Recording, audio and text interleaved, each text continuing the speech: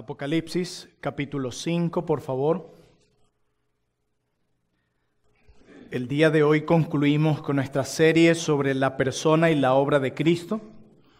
Una serie que particularmente a mí me ha bendecido gratamente en mi corazón, mi perspectiva de Cristo, mi entendimiento de su obra y espero que el Señor haya hecho lo mismo con cada uno de ustedes. Yo espero que luego de este domingo podamos tener una respuesta más sublime a esa pregunta de ¿quién es Cristo?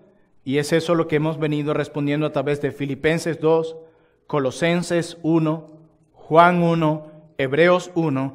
Y hoy espero concluir mostrando esa imagen última que la Biblia nos deja de Cristo para que podamos tener en mente esta imagen tan sublime y tan majestuosa que Apocalipsis expone de nuestro Señor Jesús.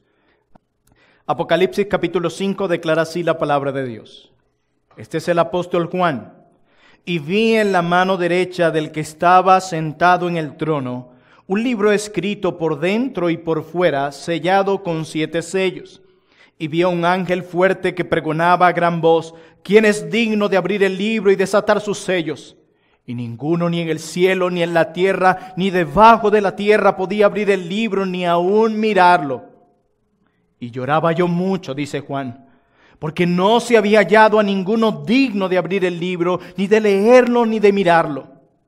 Y uno de los ancianos me dijo, no llores. He aquí que el león de la tribu de Judá, la raíz de David, ha vencido para abrir el libro y desatar sus siete sellos.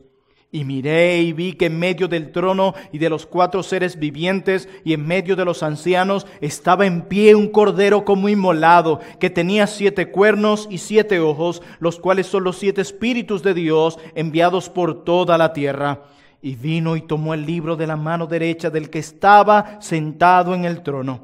Y cuando hubo tomado el libro, los cuatro seres vivientes y los veinticuatro ancianos se postraron delante del cordero todos tenían arpas y copas de oro llenas de incienso, que son las oraciones de los santos. Y cantaban un nuevo cántico diciendo, digno eres de tomar el libro y de abrir los sellos, porque tú fuiste inmolado y con tu sangre nos has redimido para Dios de todo linaje y lengua y pueblo y nación. Y nos has hecho para nuestro Dios reyes y sacerdotes y reinaremos sobre la tierra. Oremos. Oh bendito Dios, cuán glorioso es tu nombre, cuán grande es tu nombre sobre toda la tierra.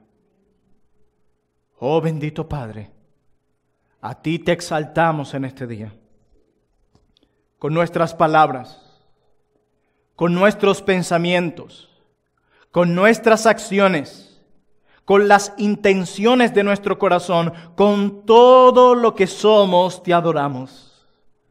Oh bendito Padre, gracias por tu palabra expuesta esta mañana. Gracias por recordarnos que solo tú eres digno de adoración y que hemos de adorarte con todo lo que tenemos, porque todo lo que somos a ti te pertenece. En el nombre de Jesús te pedimos que nos bendigas grandemente con tu palabra y que podamos experimentar el deleite de estar en tu presencia. En tu nombre Jesús. Amén. En cierta ocasión, un inspector de policía fue invitado a una escuela primaria. Y esto fue para dar una clase de la Biblia.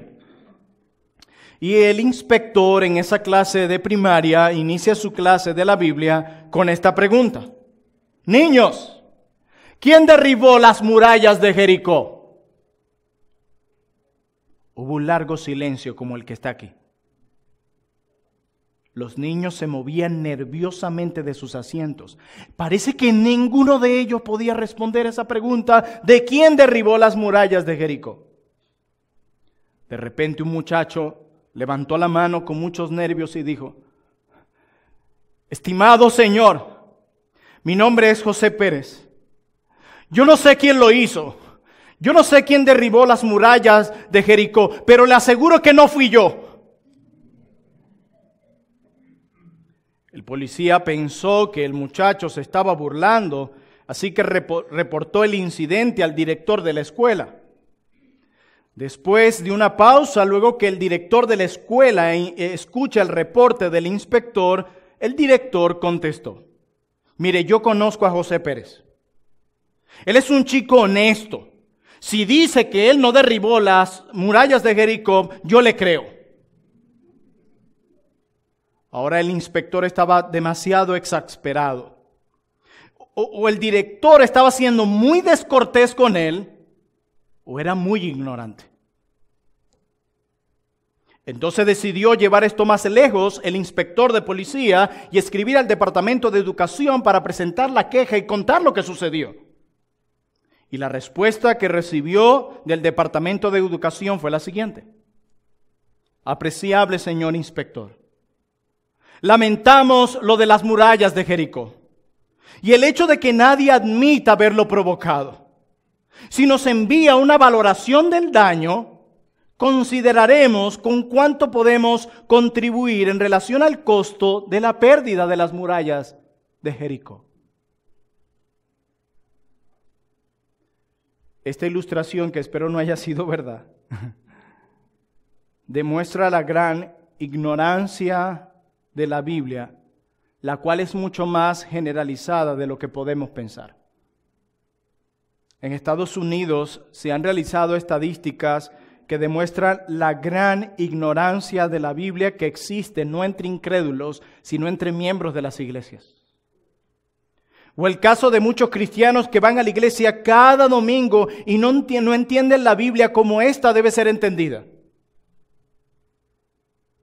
Digo esto porque nuestro pasaje de hoy es un pasaje sumamente importante, el cual se encuentra en un libro muy importante que contiene verdades de las cuales muchos son ignorantes. ¿Alguno de ustedes entiende lo que expone el libro de Apocalipsis?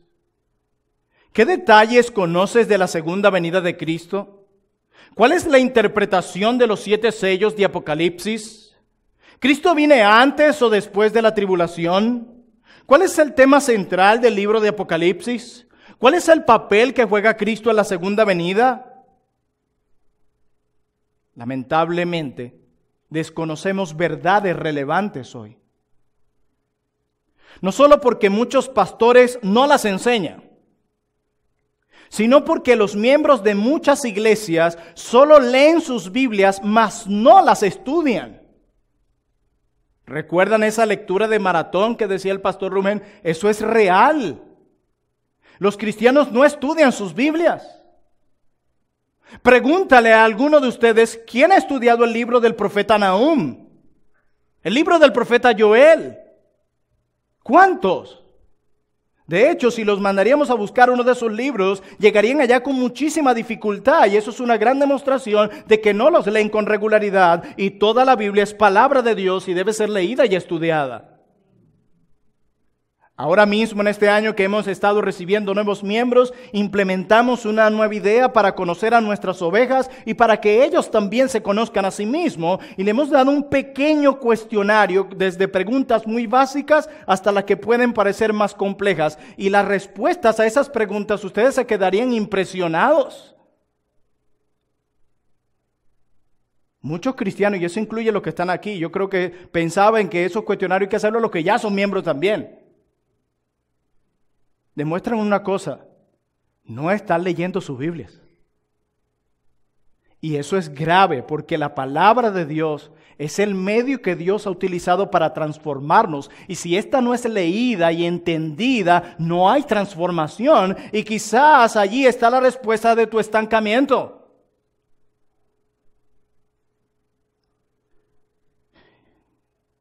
Esa falta de estudio de la palabra de Dios y de conocer verdades como las que estudiaremos hoy, nos llevan a algo. ¿Saben a qué?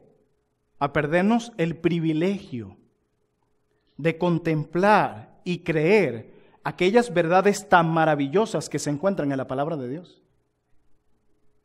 Tú que no lees tu Biblia, mi hermano, mi hermana, o que no la estudias, hay una diferencia entre leer y estudiar. Te estás perdiendo el privilegio de disfrutar de las riquezas que la palabra de Dios tiene. Por eso hoy iremos a un libro glorioso que contiene verdades gloriosas sobre un Dios glorioso. Y eso es lo que haremos hoy en Apocalipsis 5 que acabamos de leer hoy. Pero antes de entrar a nuestro texto, quisiera darles un panorama breve sobre el libro. En primer lugar, yo quiero decirles que el libro de Apocalipsis registra los sueños y visiones del apóstol Juan. Quizás hasta este momento era el último apóstol vivo.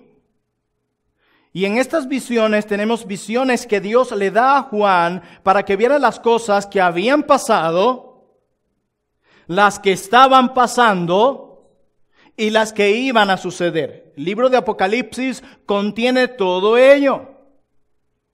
Y cuando tú entras al capítulo 1, ah, verso 3 del libro de Apocalipsis, Juan dice palabras como estas. Bienaventurado el que lee. Mira cómo se le llama. ¿A qué te recuerda eso? Salmo 1. El que lee dice, bienaventurado el que lee y los que oyen las palabras de qué, dice Juan, de esta profecía. Este libro contiene eso. Y guarda las cosas en ellas escritas. ¿Por qué, Juan? Porque el tiempo está cerca. Y Juan dice que el contenido de este libro es profético. Y por el Antiguo Testamento nosotros aprendemos que Dios le daba profecías a su pueblo, no para que convirtieran la Biblia en una bola de cristal, como lamentablemente muchos parecen ver hoy la Biblia, para ver Dios qué me tiene que decir, y con una visión así toda chamánica, con, como con brujería, y la Biblia no tiene nada que ver con eso. Usualmente en el Antiguo Testamento Dios daba profecías a su pueblo para advertirlos de permanecer en su idolatría, en sus pecados, o para consolarlos en tiempos de crisis. Las profecías en la Biblia no están para alimentar tu curiosidad, mi hermano. Están para advertirte del pecado y para producir consuelo a tu corazón. Y a pesar de ser un libro lleno de simbolismos y figuras, como lo es el libro de Apocalipsis, las cuales por cierto están conectadas con muchos símbolos y figuras del Antiguo Testamento, el libro de Apocalipsis está lleno de símbolos y figuras que ya estaban en el Antiguo Testamento. Juan no se está inventando símbolos y figuras, él como buen lector del Antiguo Testamento está apelando a figuras que ya estaban allí y que tenían una connotación. Por eso entender el libro de Apocalipsis, debemos estar familiarizados con un lenguaje apocalíptico y muchos no entienden Apocalipsis porque definitivamente ni siquiera han leído los profetas y es muy imposible entender muchas de estas realidades. Pero quiero decirles algo, el libro de Apocalipsis tiene un propósito como todos los libros de la Biblia. Y el propósito era brindar aliento. Entiendan esto, el propósito del libro de Apocalipsis era brindar aliento y fortaleza a aquellos que estaban siendo perseguidos. La audiencia a la que se le escribe el libro de Apocalipsis es una iglesia que está siendo perseguida por su fe. Esto fue muy característico desde los tiempos de Cristo. Además, el autor de esta carta, que era el apóstol Juan, se encontraba exiliado en la isla de Patmos. Las situaciones no estaban bien. Hay problema, hay crisis, hay persecución, muchos están yendo a prisión por su asociación con Cristo. Y este libro que muchos huyen leer no está para alimentar la curiosidad de la gente, sino que fue escrito con el propósito de alentar y de fortalecer el corazón de aquellos que estaban pasando por diversas pruebas. Increíble. Ellos estaban pasando por situaciones difíciles. Y Jesús les dice que todo iba a empeorar. A mí me encanta eh, eh, eh, esa dicotomía de la Biblia que en un punto es tan consoladora, pero en otro punto es muy realista. La Biblia no intenta tapar el sol con un dedo, la Biblia es realista. Y Cristo en Apocalipsis 2.10 le dice a la audiencia lo siguiente, no temas en nada lo que vas a padecer. Cristo no está tratando de esconderle. Como cuando tú sabes que alguien va a morir, le han diagnosticado algo a un familiar, y tú dices, tranquilo, no hay problema, no vas a morir. No, la Biblia no intenta hacernos eso. La Biblia dice, en el mundo tendréis aflicción. Cristo le dice aquí, vas a padecer. Es realista. Y Cristo le sigue diciendo, he aquí el diablo echará a algunos de vosotros en la cárcel. ¡Wow! ¡Qué panorama! Para que seáis probados. Me encanta eso. Cristo de nuevo nos enseña la razón de las pruebas, para que seáis probados. COVID-19 ha afectado la salud de muchos, pero también ha limpiado la iglesia y nos ha permitido ver qué hay en el corazón de muchos y la fe de muchos. Dice, para que seáis probados y tendréis tribulación, sigue añadiendo más, por 10 días. Pero me encanta esto, ven la dicotomía realista y consoladora y le dice, sé fiel hasta la muerte. Y yo te daré yo mismo la corona de vida. Wow. Hermanos, en medio de la persecución, la tentación era negar a Jesús, ya sea para evitar la persecución o simplemente para unirse al espíritu de la época romana.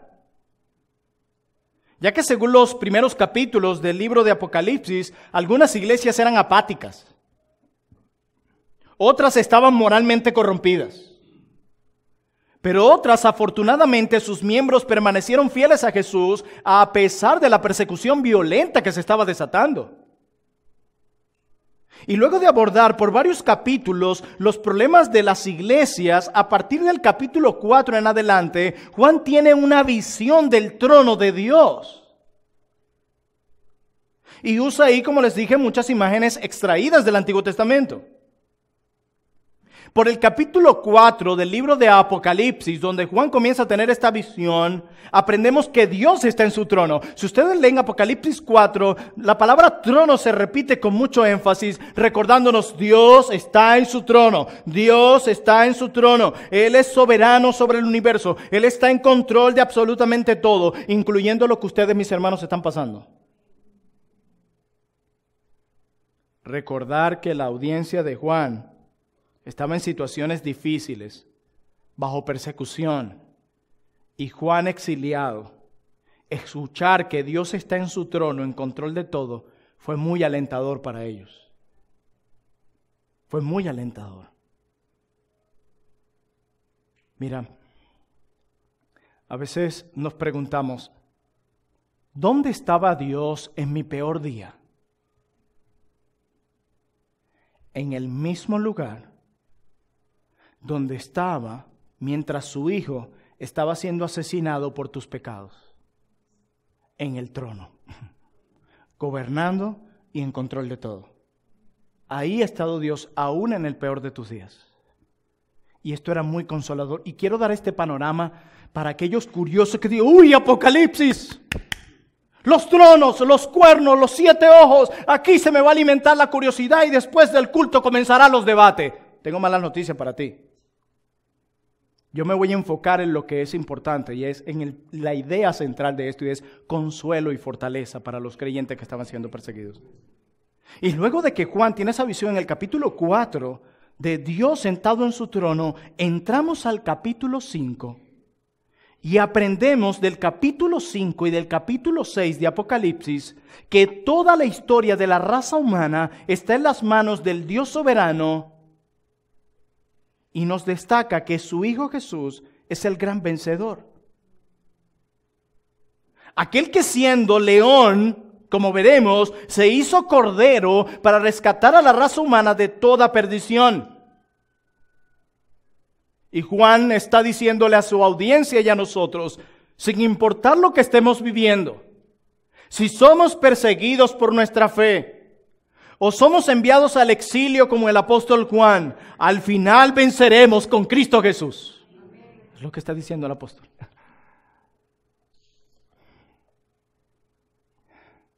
Y en nuestro texto de hoy de Apocalipsis 5 tenemos un elemento importante que el autor no quiere que obviemos. ¿Cuál es ese elemento? Un libro con siete sellos. Y en este capítulo, como bien dijo un siervo de Dios, tenemos tres puntos. El autor presenta tres ideas y esos serán mis mismos puntos para mi sermón de hoy. Tenemos un dilema, tenemos una resolución y tenemos una conclusión. Y es eso lo que veremos hoy en Apocalipsis 5. Y comencemos luego de tener esta idea en mente con el dilema. ¿Qué es lo que está pasando en Apocalipsis 5? ¿Qué es lo que está sucediendo aquí? Versículos 1 al 4. Y vi en la mano derecha del que estaba sentado en el trono, lo que él vio en el capítulo 4, Dios en control de todo, un libro escrito por dentro y por fuera. Esto era muy común en la antigüedad y normalmente el escrito por fuera era una especie, piensan algunos, de resumen de lo que se halla dentro de ese libro. Y dice escrito por dentro y por fuera, sellado con siete sellos. Algunos dicen que se acostumbraba a colocar máximo unos tres sellos debido a la importancia de lo que contenía el libro, pero este tiene siete y nos habla de la importancia de lo que hay ahí, de la totalidad de lo que hay ahí. Y dice, y vio un ángel fuerte que pregonaba gran voz. ¿Quién es digno de abrir el libro y desatar sus sellos? Y ninguno, y ninguno, dice, ni en el cielo, ni en la tierra, ni debajo de la tierra, podía abrir el libro y ni aún mirarlo. Y miren cómo llega a su punto más alto el dilema. Y dice, y lloraba yo mucho porque no se había hallado a ninguno digno de abrir el libro, ni de leerlo, ni de mirarlo. El apóstol Juan comienza a llorar, a llorar y a llorar porque no hay nadie que se halle digno para abrir este libro.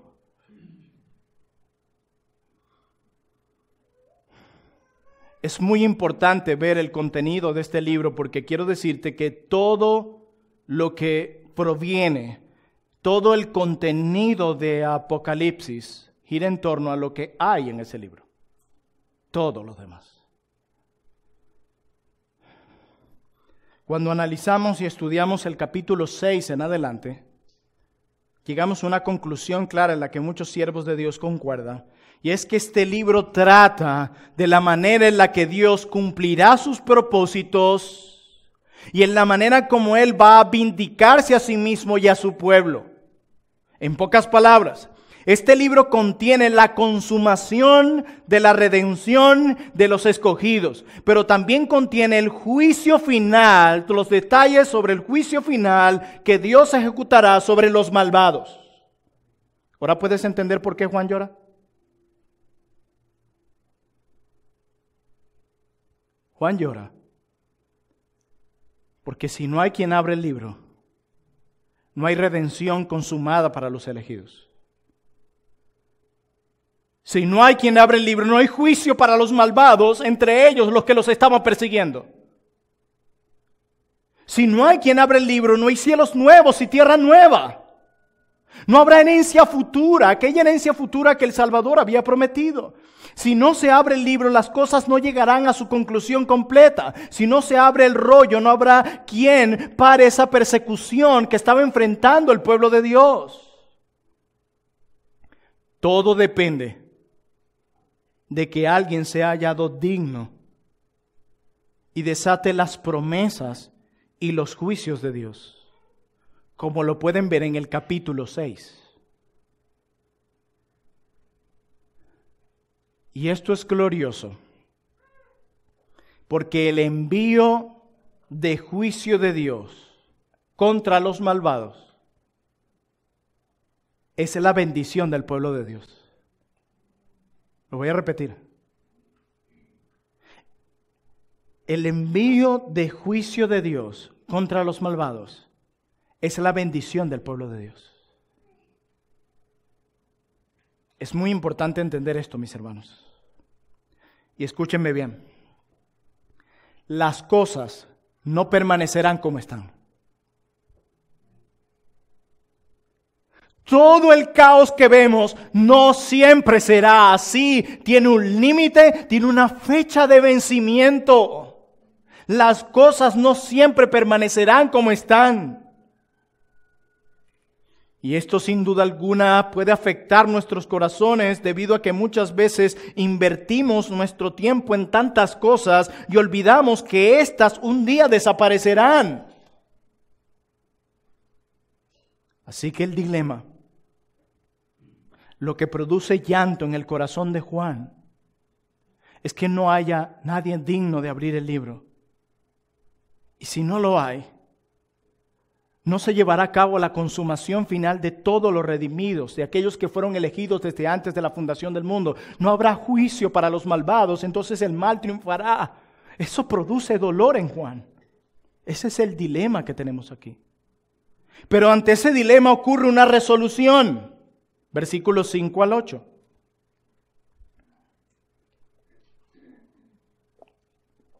Y uno de los ancianos me dijo, wow, qué, qué increíble esto. No llores. No llores. ¿Por qué? Tú sabes lo único que podría parar mi llanto por eso. He aquí que el león de la tribu de Judá, la raíz de David, ha vencido para abrir el libro y desatar sus siete sellos. Hay uno digno. Hay uno que ha sido hallado digno para abrir el libro y desatar las promesas de Dios y el juicio contra los malvados. Es el león de la tribu de Judá, la raíz de David. Él ha sido hallado digno. Y este texto hace referencia a Génesis 49, 8. No tengo el tiempo para explicarlo, pero ese pasaje de Génesis 49, 8 encontramos detalle con detalle de una imagen de juicio. Lo que está diciendo aquí este anciano es que él puede abrir el rollo porque él viene de la línea de Judá. Ese león de la tribu de Judá es Jesucristo. Él es quien ha sido hallado digno.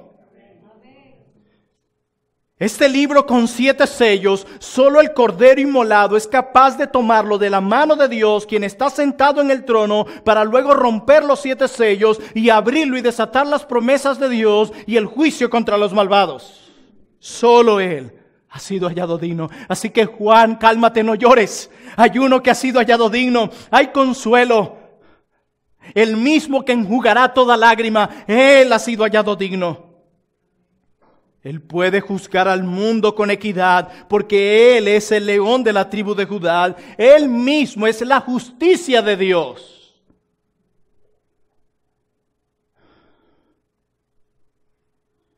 Y cuando entramos al capítulo 6,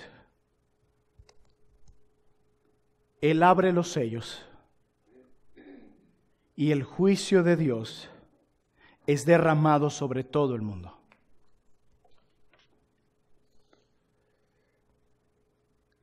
decía Body Bauchan, jamás apreciarás la redención a menos que comprendas la justicia y el juicio de Dios que debe venir sobre los malvados. Jamás.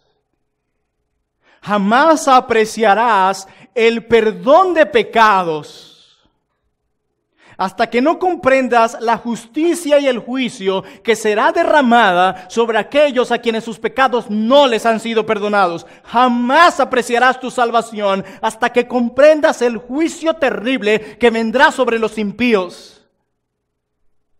Solo cuando comprendas esa realidad verdaderamente, podrás decir gracias Señor por haberme salvado. Gracias Señor por haberme redimido. Gracias Señor por haber perdonado mis pecados. Pero esto no será así hasta que comprendas la justicia y el juicio de Dios sobre aquellos que aborrecen a Cristo y aman la maldad. Jamás. Cuando olvides el Evangelio y tu gozo por el Evangelio se apague, eso es una, un indicativo claro que has olvidado lo que tú merecías si Cristo nos hubiese salvado. Y eso te pone entonces a tu lugar de arrogante y orgulloso como aquel que merece, que se ha ganado, perdón, la salvación y el mérito en el cielo.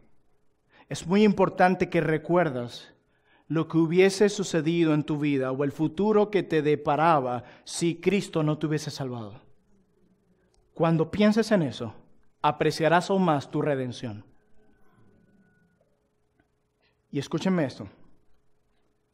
Y jamás el impío el hombre y mujer que no son cristianos. Estar aquí no te hace cristiano. Los cristianos deben venir a la iglesia, pero no son cristianos por venir a la iglesia. La salvación no es por obra, es por gracia. Y el que ha sido salvado querrá, anhelará estar junto al pueblo de Dios. Es más, le incomodará no estar con el pueblo de Dios. Entre el año pasado y este falté un domingo al culto por situaciones de salud. Y yo decía, ahora entiendo a muchos cuando me dice, pastor, incluyame en la lista. Algo que todavía sigue siendo pesado para nosotros los pastores. Quisiéramos que todos estén aquí. Pero al mismo tiempo yo pensaba, ¿Cómo puede alguien preferir quedarse en su casa en lugar de estar aquí? ¿Cómo puede alguien hacer eso? Si no quieres estar conmigo aquí, tú no tienes nada que hacer en el cielo. Porque ahí estaremos juntos todo el tiempo, 24/7. Y uno dirá, pero en el cielo no hay límite de tiempo. Un decir si quieres entrar en el debate. Jamás el impío vendrá a Cristo a menos que entienda la ira y el juicio que vendrá sobre aquellos que no creen en el Cordero. Por eso, antes de predicarle a alguien las buenas noticias de salvación, predícale primero las malas noticias. Porque si esa persona primero no se ve como un pecador, ¿para qué un salvador? ¿Salvador de qué? Mi amigo que tú estás aquí, si tú no eres verdaderamente cristiano, si no has reposado los brazos del Cordero como el único porque algunos dicen, yo creo en Cristo, no, como el único, hay exclusividad, como el único que puede salvarte, la ira de Dios está sobre ti. Por ahora, su brazo de misericordia está deteniendo su ira. Pero un día esa misma mano que está deteniendo su ira derramará su ira sobre ti y ya no habrá más oportunidad. Esto será como en los días de Noé. Por eso el mayor pecado que puede cometer alguien es no creer en Cristo. Por ello tengo un consejo para ti. Huye del pecado y corre a Cristo, porque solo Cristo puede salvarte de lo que viene. Nadie más. Por eso cuando alguien dice, pastor, mire, yo estoy muy feliz, encontré al hombre de mi vida. Tiene un buen trabajo, gana bien, guapo, como mis series de Disney, se parece a mis actores preferidos. Parece que más de una todavía aquí ve series de Disney. Hay cosas que deberían parar ya de hacer. es chévere, cae bien. Pero tiene un detallito chiquitico. ¿Cuál, hermano? No es creyente. Ay, ay, ay. ¿Chiquitico?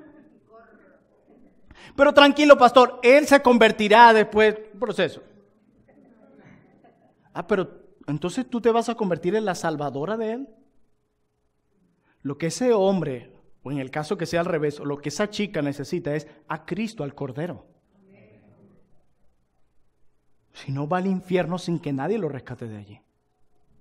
Es lo mismo lo que necesita tu esposo incrédulo o tu esposa incrédula es a Cristo, es huir del pecado, correr a los brazos de Cristo, que es el único que puede salvarla.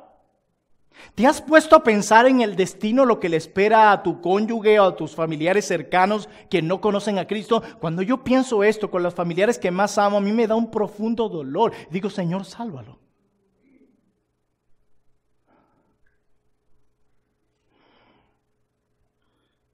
Dios es santo, amén. Y nosotros como su pueblo debemos deleitarnos en su santidad, pero también en su justicia.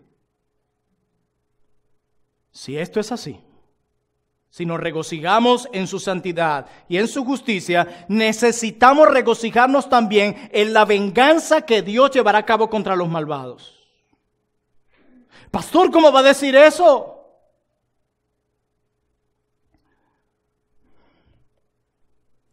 Decía alguien, creemos que solo tenemos éxito cuando la gente se arrepiente.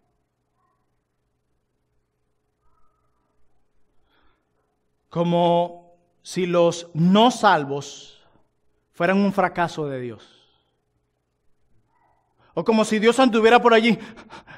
Por favor, predícale a aquel, necesito más adeptos. Por, por favor, aquel que me siento solo. Por favor, predícalo. Oh, ¿Cómo puede ser que fulano no se arrepienta? Me siento mal, me voy a volver loco. La Biblia dice que el sacrificio de Cristo fue eficaz. Y Él vino a salvar a personas en particular y a los que Él escogió serán salvos. Porque como dice Pablo, hay vasos de honra y vasos de deshonra. No hay fracaso nunca. Hay éxito, gloria a Dios, cuando Dios salva a quienes escogió, porque Él dijo que iban a ser salvos y iban a ser salvos, como cuando los malvados son condenados por rechazar a Cristo. Y es precisamente entender eso, que Dios es justo y que obrará con justicia, lo que nos impide dar retribución a los hombres aquí y ahora por el mal que nos hacen. Escúchenme bien esto. Nosotros dejaremos de albergar venganza en nuestros corazones solo cuando entendamos que existe un Dios justo quien un día juzgará con justicia. Solo cuando entiendas eso dejarás de albergar venganza en tu corazón, cuando entiendas que Dios es justo y que Él hará justicia. Cada deseo de venganza en nuestro corazón es una ignorancia de la realidad de quién es Dios y de lo que hará a aquellos que le hacen mal a su pueblo. Pablo lo dice a los de Tesalónica, que están siendo perseguidos, tranquilo, que Dios dará justa retribución a los que los persiguen. No se preocupen, Dios se va a vengar de ellos, van a pagar por lo que les están haciendo, Dios no será burlado. Solo cuando entiendas eso, dejarás de albergar deseos de venganza en tu corazón. ¿Se acuerdan al salmista en el Salmo 73? Fue lo que le pasó a él. Oh, pero mira cuánto prosperan los malvados. Mira cómo avanzan, hasta siento envidia de ellos. Parece que les va mejor que a nosotros. Parece que ni siquiera se enfermaran.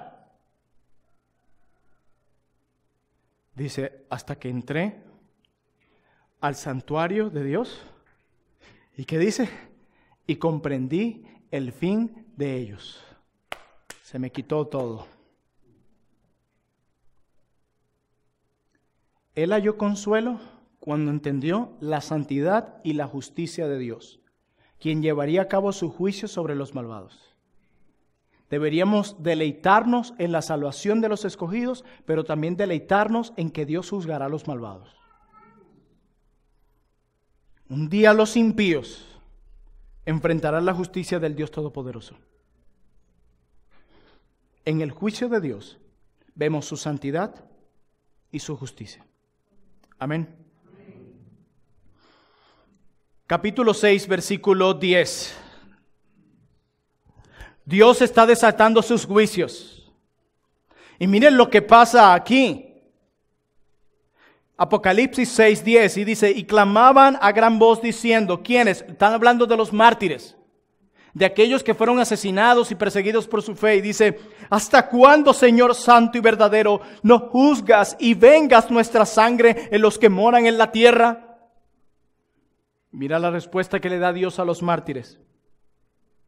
Y se les dieron vestiduras blancas y se les dijo que descansasen todavía un poco de tiempo hasta que se completara el número de sus consiervos y sus hermanos que también habían de ser muertos como ellos, como mártires.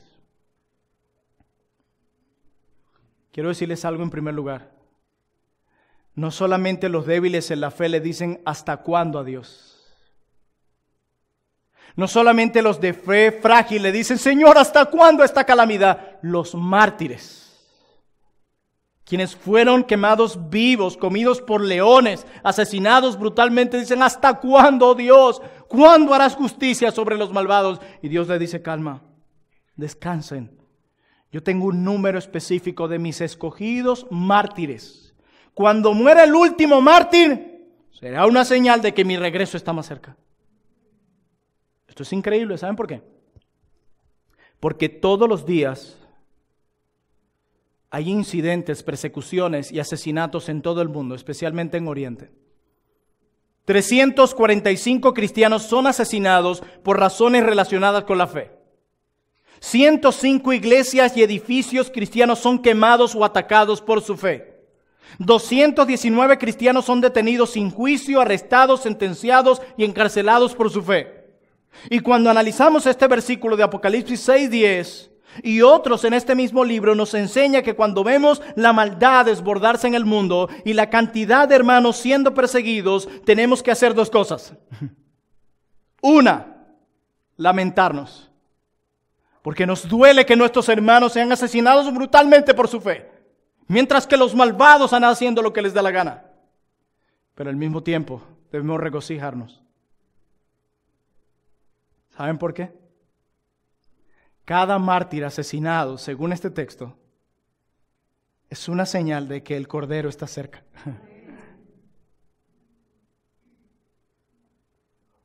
Cuando veamos y escuchemos noticias de hermanos que son asesinados brutalmente por su fe, lamentense, pero al mismo tiempo regocíjense, porque falta menos para que venga el Cordero, para que todo esto termine. Hoy en día muchos ante las malas noticias, porque el mundo está de cabeza, solo se lamentan. Si no vean las noticias que compartimos, las que hablamos en nuestras conversaciones como iglesia, las que publican en los grupos de WhatsApp, solo hay lamento. Yo digo, ¿qué le pasa a estos cristianos? ¿No leen sus Biblias? No hay un entendimiento de que todo el caos es señal de la venida del Señor. A Dios nada se le escapa de sus manos. Pensemos en los días de Noé. Tanta maldad, era increíble. ¿Qué pensarían algunos? ¿Qué pasa ante tanta maldad? Como que esto se le salió de control a Dios. Pero del otro lado había un hombre salvado por gracia, armando un arca para que todos los que entraran en ella fuesen salvos. Dios estaba en control de los episodios más pequeños hasta los más grandes. Quizás muchos piensan, oh, ¿qué pasa, Señor? Él está obrando. Y su plan se está llevando a cabo. De hecho, el punto culminante de este plan, según estos textos, es el aumento de la maldad. O sea, que tanta maldad, toda la persecución, son evidencias claras de que el plan no se ha detenido, sino que se sigue llevando a cabo y Él está muy, muy cerca de venir por nosotros. Hermanos, entre más maldad veamos, podemos lamentarnos, pero también decir, ya viene el Cordero. Cada vez que veamos a un mártir, al mártir morir, podemos decir, ya viene el Cordero. Miren el versículo 6 del capítulo 5. Y miré y vi en medio del trono y de los cuatro seres vivientes, en medio de los ancianos, estaba en pie un cordero como inmolado. Pasamos de un león a un cordero, como inmolado, que tenía siete cuernos y siete ojos, los cuales son los siete espíritus de Dios enviados por toda la tierra. Cristo es el león de la tribu de Judá que se hizo cordero. Cristo fue hallado digno, ¿saben por qué? Porque Él fue inmolado, según este texto. Sufriendo el castigo en nuestro lugar, debido a su muerte y su resurrección, Él fue hallado digno de abrirle el libro y desatar sus sellos. Él es el Cordero inmolado. El Cordero está simbolizado en el Cordero que era llevado al sacrificio inmolado por la transgresión y el pecado de su pueblo.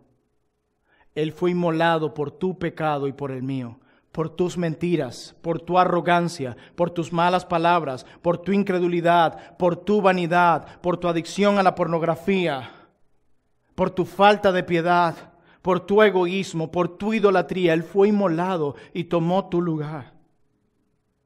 Él murió y resucitó venciendo a la muerte y de esa manera fue hallado digno de abrir el libro.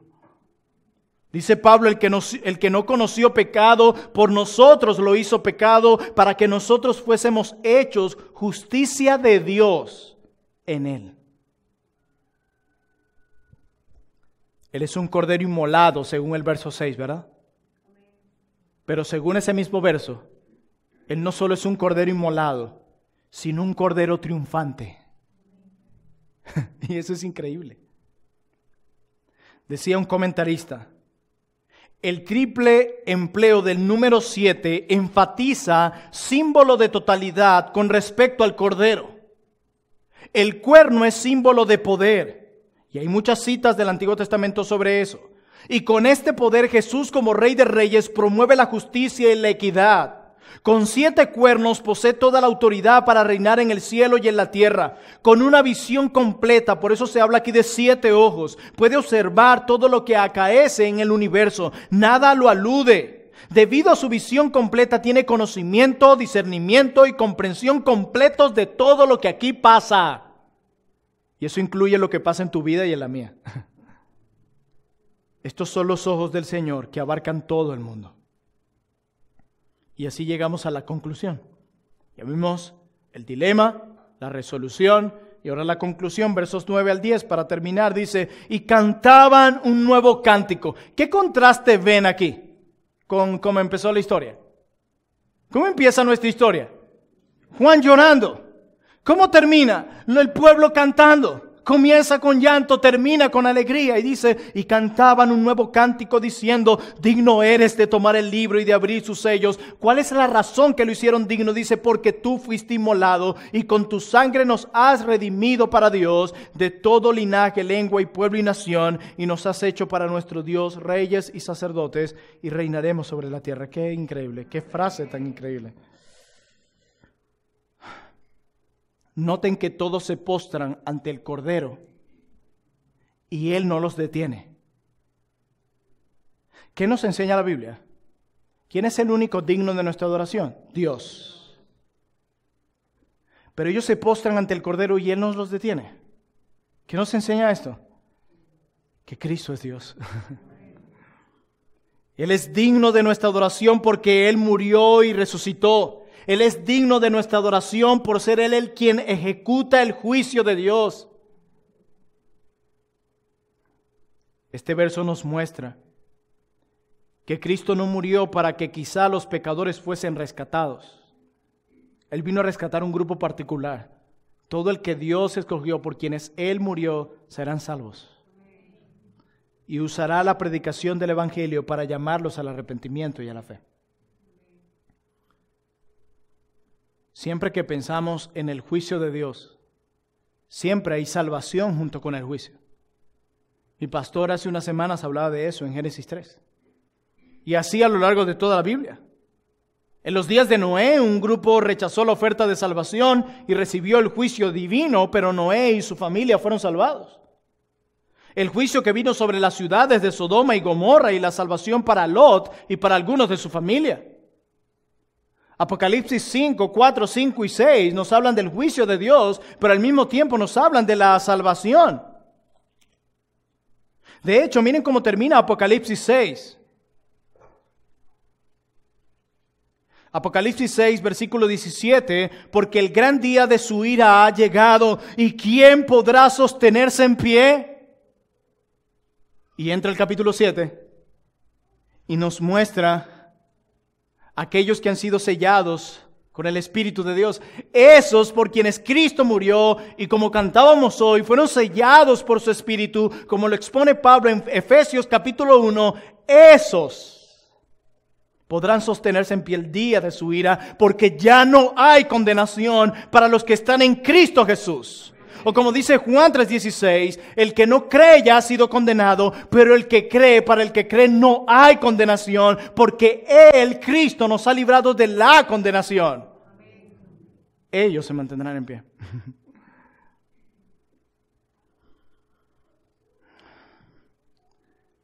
Ah, qué glorioso. Él salva al pecador. ¿Y saben qué hace? Lo une al coro celestial.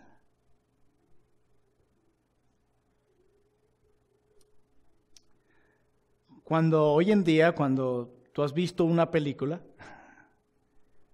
alguien no la ha visto y te pregunta por ella, y tú le das adelantos del final y desarrollo de esa película, se le llama spoiler.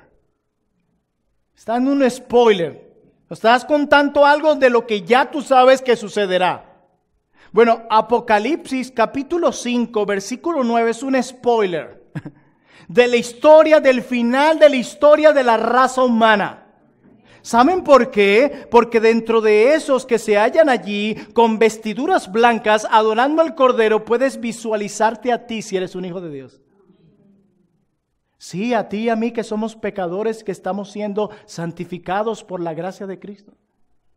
¿En serio, pastor? Sí, puedes ir a Apocalipsis 21 y verte allí con vestiduras blancas. Dentro de esa multitud estamos tú y yo. Aquí tenemos una visión futura de lo que seremos. ¿Cuánta esperanza esto produjo en los hermanos que estaban siendo perseguidos? ¿Y cuánta esperanza en nosotros? No siempre esto será así. Si estas cosas no producen gozo en ti, nada más lo hará. Créeme, nada más lo hará.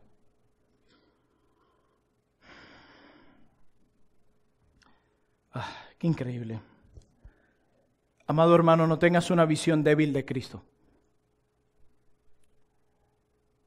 No tengas una visión distorsionada de Cristo.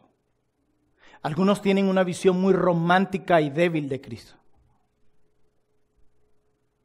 Pastores y futuros predicadores de trono de gracia, no presenten nunca a su audiencia una visión débil de Cristo. Porque Él es grande, Él es glorioso, Él es majestuoso y no hay ninguno como Él. Y cada domingo, cuando te paras aquí, la gente debe ver la majestuosidad de Cristo y admirarlo aún más. Cada domingo debemos salir de aquí admirando a Cristo aún más. Y aquellos que no son creyentes deben rendirse y postrarse a este glorioso Cristo sin el cual todos están perdidos. Cuando veas la maldad desbordándose en el mundo, recuerda que hay uno en los cielos que es digno de abrir el libro y desatar sus sellos. Qué consolador, hermanos. Esto fue para estos hermanos y para nosotros. ¿Qué pensará un hermano nuestro en Corea del Norte cuando lee Apocalipsis.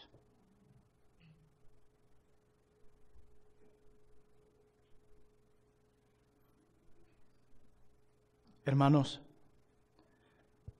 nuestra comodidad en algunos aspectos nos ha limitado, nos ha limitado a clamar, ven pronto Jesús.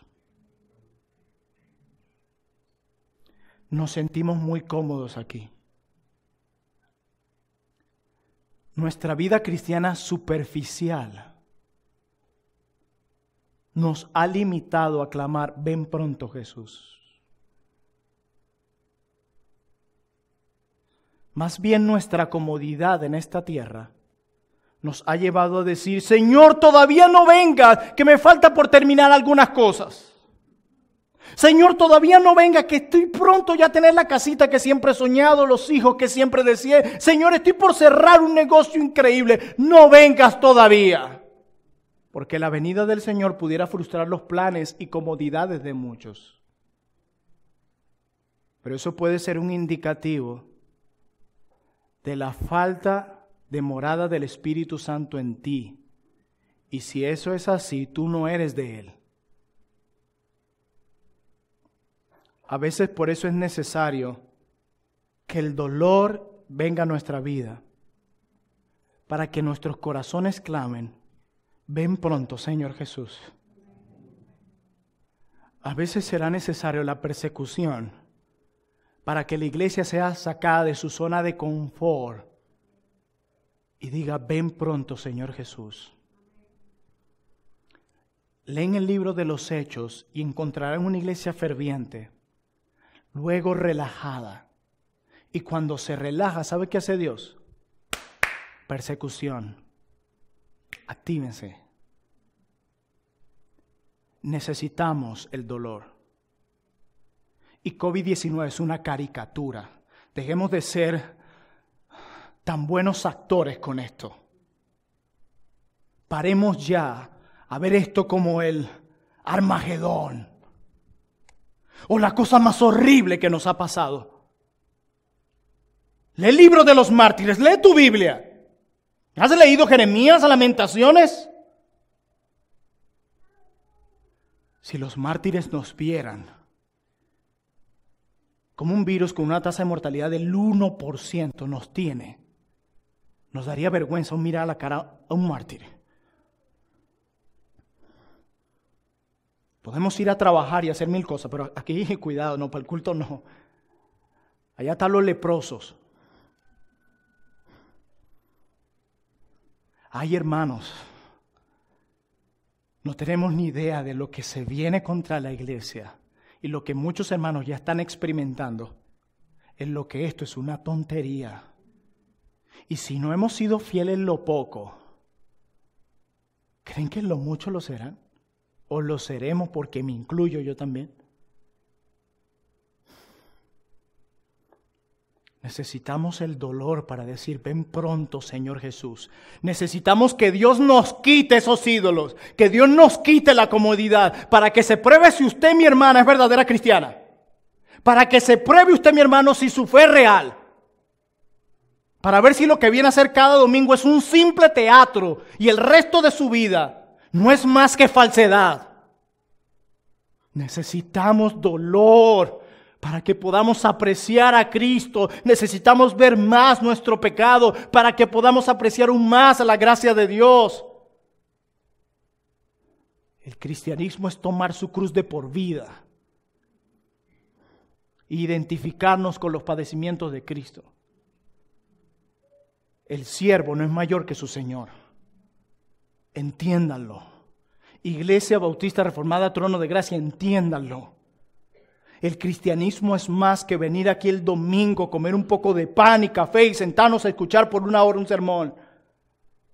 Rubén lo ha venido predicando por semanas. Mi pastor lo ha venido recalcando. Es una vida consagrada a Él. Quizás muchos aquí solo abren su Biblia el domingo que vienen aquí. El resto de la semana pueden ver programas, televisión, conversaciones, pero la Biblia no es su deleite. ¿Para qué quieres ir al cielo si eso es lo que más vas a escuchar allá, las palabras de Dios? El cielo es un lugar santo, compuesto de personas santas, donde solo se harán cosas santas. Si amas tu pecado, ¿qué quieres hacer allá? El verdadero cristiano, en quien la gracia de Dios está obrando a pesar de sus debilidades y pecados, dará gracias por el dolor, porque éste lo impulsa a decir, ven pronto, Señor Jesús. Con esto termino. Adoramos a un Dios que es justo y santo, que derrama su ira sobre el malvado y por eso lo adoramos.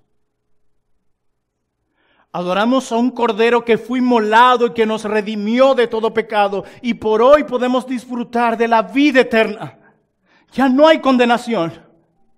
Cristo dice, yo he venido para que mi gozo esté en ustedes, para que sean tan felices como yo lo soy, para que tengan la paz que yo les doy. Mira cuántos privilegios hay para los que son salvos.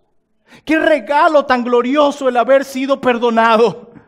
Qué regalo tan hermoso es que ya haya una morada en la patria celestial para nosotros. Qué glorioso es que el amor de Dios para con nosotros no dependa de nosotros, sino de su Hijo. Él nos ha dado un amor que no cambiará ni siquiera en nuestros peores días ni en nuestras mayores caídas, porque su amor es eterno y con ese amor eterno nos ha amado en el Hijo. Adoramos a un Dios que nos ha salvado. Adoramos a un Dios también que es justo y santo y que derramará su ira contra los malvados, como vemos a partir de Apocalipsis 6, y lo adoramos por eso. Dios es justo y santo y derramará su ira sobre los impíos. Por eso lo adoramos. ¿Saben por qué?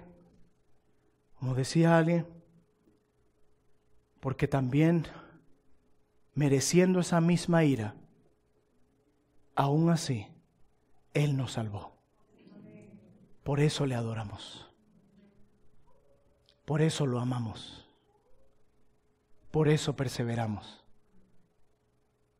Por eso lo honramos. Porque aún mereciendo esa misma ira, sin haber nada bueno en nosotros, aún así nos salvó y nos ha hecho parte del coro celestial. Ese coro que dice, digno eres. Tú eres el cordero inmolado, digno eres porque tú derramaste tu sangre por mí. Me has rescatado a mí, me has dado vida a mí, me has dado gozo a mí. Digno eres. Oremos.